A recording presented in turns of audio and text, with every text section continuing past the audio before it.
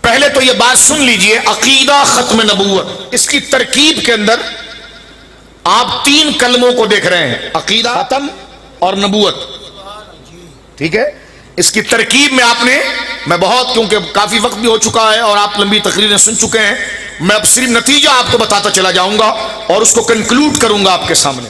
اور نکات آپ کے سامنے رکھوں گا کہ یہ مسئلہ کیوں مسلمان اس پر اتنا جذباتی ہو جاتا ہے؟ کیوں مسلمان اس پر تیش میں آ جاتا ہے؟ اس میں تیش تو ہمارے وزیر اعظم عمران خان صاحب بھی آئے۔ دو سال پہلے میں گرلا شریف حاضر ہوا ختم نبوت کانفرنس میں سرد بھائی بھی میرے ساتھ تھے۔ چند تقریریں پیر جامی صاحب قبلہ نے کرائی تھی۔ اس میں انیسویں تقریر میری تھی بیسویں تقریر ہمارے موجودہ عمران خان صاحب وزیر اعظم صاحب کی تھی۔ وہ تقریریں وائرل بھی ہوئی ہیں چلی بھی ہیں۔ اس میں وزیر اعظم عمران خان صاحب نے پورا مقدمہ ایسے پیش کیا جیسے ایک عالم پیش کرتا ہے۔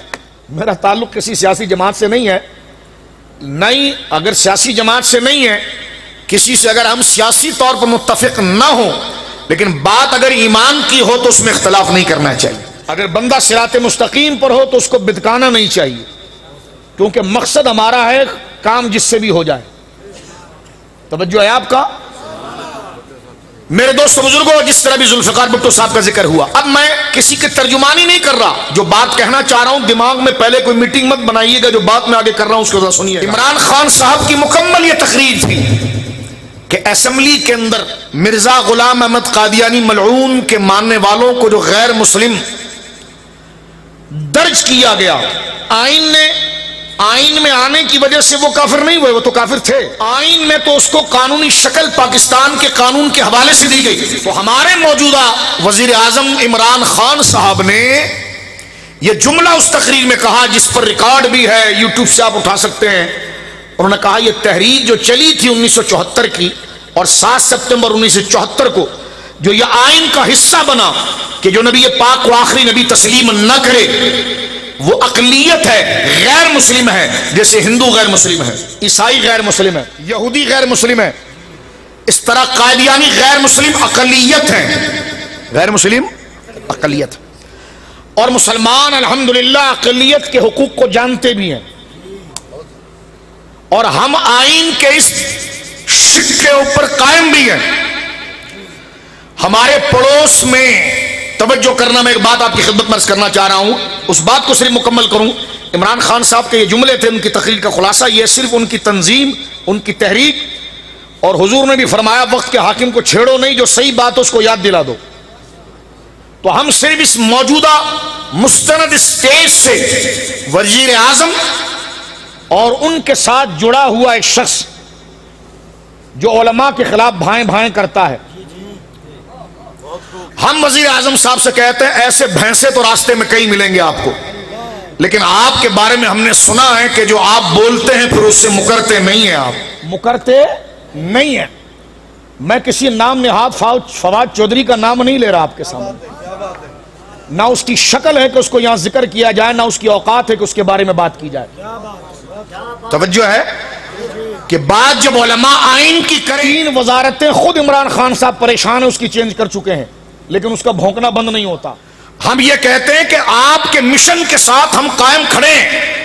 اور ہم آپ کی فکر امریکہ کے اندر آپ نے کیا گفتگو کی ہے وہ بھی ہم نے سنی ہے۔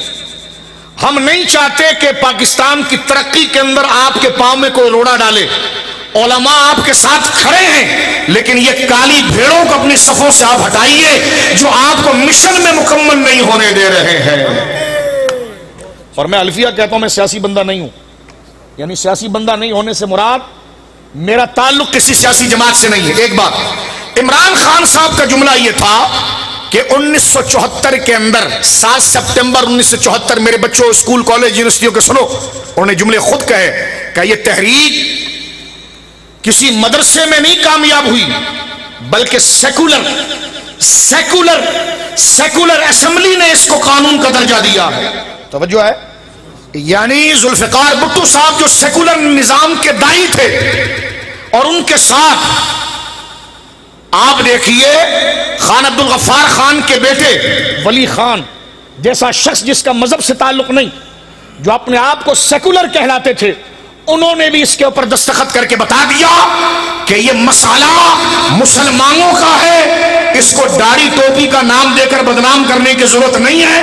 داڑھی ٹوپی کا نام دینے سے مسئلہ بدنام نہیں ہوتا۔ لیکن عالمی دنیا کے اندر یہ بات کرنا کہ چند جذباتی مولویوں نے یہ بات کی ہے، تو ہمارے موجودہ وزیر اعظم میرے بچوں، خود وہ اپنی الیکشن کی تحریک اور تیاری کمپین کے اندر اس بات کو بار بار جلسے میں کہہ چکے ہیں کہ آئین پاکستان میں جس تحریکی جد و جہد سے یہ قانون اور آئین کی شک بنی ہے کہ قائدیانیوں کو مسلمان کہنا ٹھیک نہیں، وہ اقلیت ہے، وہ مولویوں کے ذریعے نہیں ہوا ہے، وہ سیکولر دنیا دار لوگوں نے بھی اس بات کا اعتراف کیا ہے۔ ٹھیک ہے؟